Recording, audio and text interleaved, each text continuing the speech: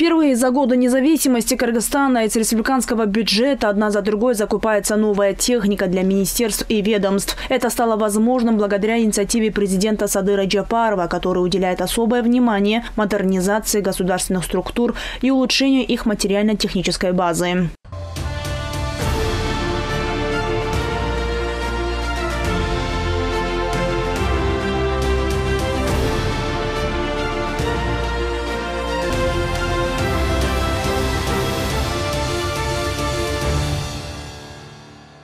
Жалпы кожоевич спецтехника жүз төрт дана келди Сегодня Закупка для специальной техники – это значимый шаг на пути к укреплению национальной безопасности, улучшению экстренных служб и повышению эффективности работы различных государственных органов. Так, на этой неделе новую спецтехнику за 1 миллиард сомов получило Министерство водных ресурсов, сельского хозяйства и перерабатывающей промышленности, экскаваторы, бульдозеры, грейдеры, а также 40 служебных машин.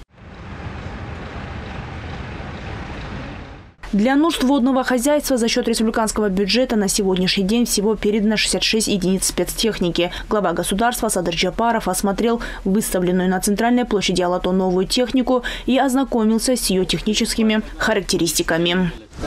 ошондо райондо бизде биз беуларды накачаем техника менен анан к концу ноября этого года поступят остальные 38 единиц. В своем выступлении президент поздравил сотрудников отрасли с Днем работников сельского хозяйства и подчеркнул ключевую роль агропромышленного сектора в экономике страны и озвучил меры государственной поддержки, направленные на его развитие. Айыл продукцияларын рынокто атаандаштыкка туруштук бере турган абалга жеткирүү максатын көздөп жатабыз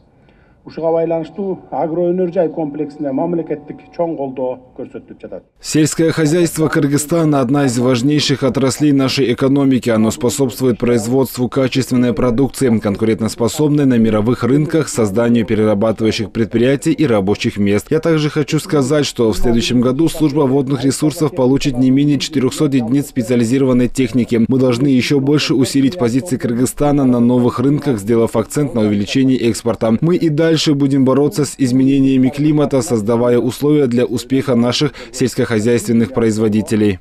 Далее президент торжественно вручил сертификат от спецтехники Минсельхозу. Вся эта техника отправится по регионам страны.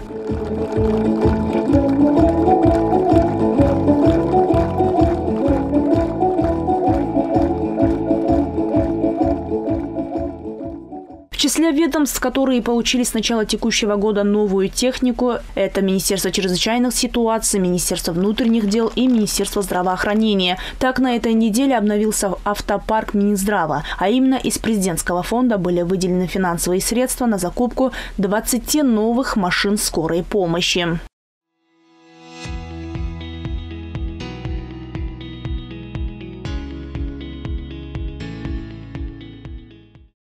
При распределении новых автомашин скорой помощи в первую очередь учитывалась отдаленность поселка от ближайшей больницы.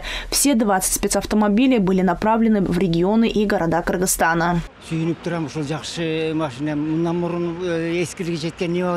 Мы приехали из села Караколка из Сыкульской области. Оно является самым отдаленным поселком от больницы почти 200 километров. Раньше у нас была небольшая Нива, и то постоянно ломалась. Туда лежащий больной физически не помещался. Теперь с этой новой машиной работать будет легче, и для сельчан это хорошая новость. Когда э, вызывали машину скорой помощи через Представь себе 280 километров до туда и обратно. Это 600-700 километров. Это занимало 10-12 часов. Естественно, больной страдал. А в настоящее время, как только поступит вызов, если нужно будет, машины, которые проходимые, будут доставляться в ближайшие ГСВ, ближайшие больницы в течение 4-4 часов. С начала текущего года в Кыргызстане для энергетической и угольной промышленности было закуплено 89 единиц спецтехники. Благодаря закупке новой техники МЧС сможет значительно расширить свои возможности по ликвидации пожаров и чрезвычайных ситуаций. К примеру, пожарные машины с грузоподъемностью 5,8 тонн воды позволят проводить тушение пожаров в более сложных условиях. Министерству внутренних дел было предоставлено 66 единиц новой техники, а Министерство транспорта и коммуникации за последние последние несколько лет привлекло значительные инвестиции в обновление и расширение парка спецтехники. В период 2022-2023 годов было приобретено 297 единиц спецтехники на сумму 3 миллиарда 225 миллионов сомов. Таким образом, закупка специальной техники за счет средств республиканского бюджета не только повысит эффективность работы государственных органов, но и улучшит качество жизни и безопасность граждан. Рахат Батырбекова, Бекзат Машапов, ЛТР. Итоги недели.